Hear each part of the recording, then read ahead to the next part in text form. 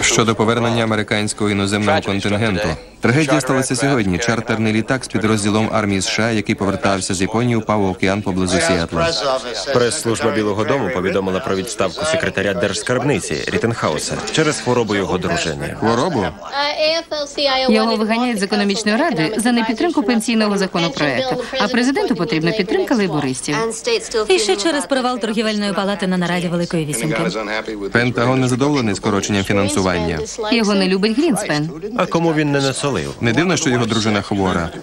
Вона не хвора, вона п'є. Звідки ти знаєш? Від Майка Вудворда зі скарбниці. Місіс Ріттенхауз почала пити кілька років тому після численних романів свого чоловіка.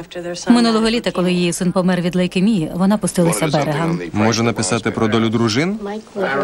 Майк Вудвард, дружина, троє дітей. Він давно хотів зустрітися. За сніданком я спитала його про Ріттенхауза. Боб Кембл звільняється. Шукатимуть суботнього нічного ведучого. Нащо міняти білий дім на цю каторгу? Не тобі, мені. Ні. Бет, Потім поговоримо. У Білому домі спокійно. Завтра президент повертається з Кемп Девіду. Айра, ділові новини. Бет, я. Ти краще копай під Ріттенхауза. Може, Майкл погодиться пообідати. Твоя мета якомога більше дізнатися про нього. Окей. Добре. Це все. Бет, зачекай.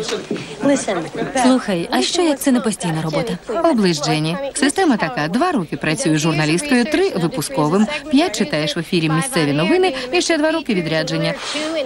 А вже потім тебе зроблять ведучою у вихідні. Привіт, Кетлін.